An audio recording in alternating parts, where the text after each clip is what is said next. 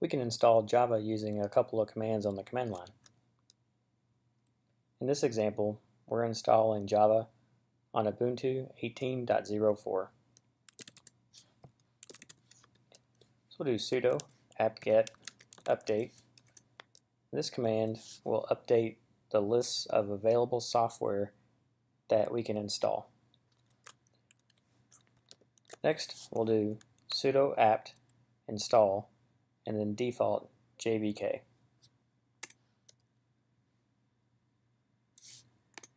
If prompted, click Yes and allow the download to start.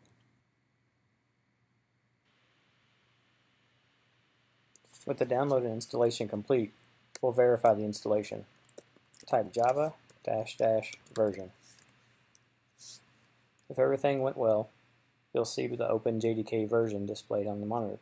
You can run these same commands periodically to ensure you have the latest version.